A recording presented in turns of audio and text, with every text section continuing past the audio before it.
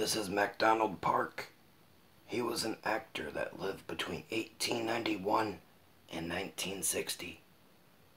You may have seen him in The Six Men, Penny Princess, Babes in Bagdad, or No Orchids for Miss Blandish.